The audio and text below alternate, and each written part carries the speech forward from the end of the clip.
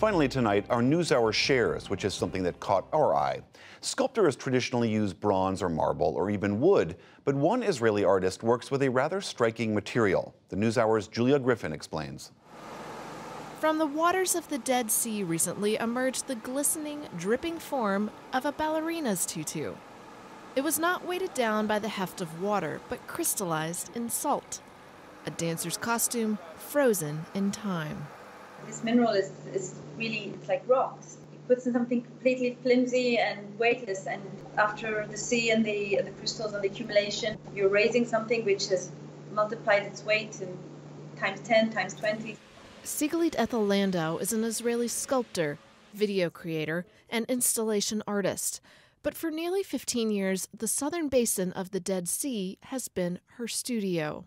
It's not the easiest water. It's not the nice, the nicest place to um, it's not a nice place to be in August, but I have a language going on there, definitely.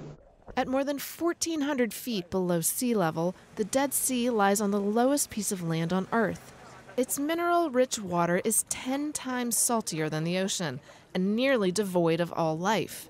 But it has attracted health conscious tourists for millennia. In the summer, temperatures in the area regularly top 100 degrees, and because heat speeds up the crystallization process, summer is when the Dead Sea becomes Ethel Landau's artistic partner.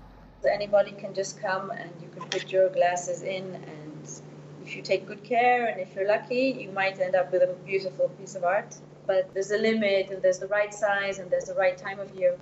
As a child, Ethel Landau spent many Saturdays with her family relaxing on the Israeli shore of the Dead Sea. After working indoors for years, she first experimented creating art using its hypersaline waters in 2003. Since then, she has placed nearly a hundred handcrafted pieces and everyday items such as shoes and musical instruments underwater. Some objects, like the ballerina's tutu, have biographical ties. Ethel Landau used to be a dancer. Others play off the water's ability to transform, like this traditional Yiddish morning gown, now a sparkling wedding dress, or blue flags turned white. The white flag, you can go to your president and say, look, this is kind of a, a healing uh, process. White flags say something about um, sharing, about uh, water, about coping, about healing. And while Ethel Landau's salt sculptures have traveled the world for museum exhibitions, she never loses the constant pull of the Dead Sea.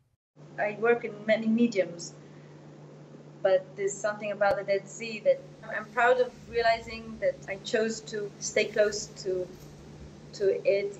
A book chronicling Ethel Landau's work in the Dead Sea will be released this spring. For the PBS NewsHour, I'm Julia Griffin.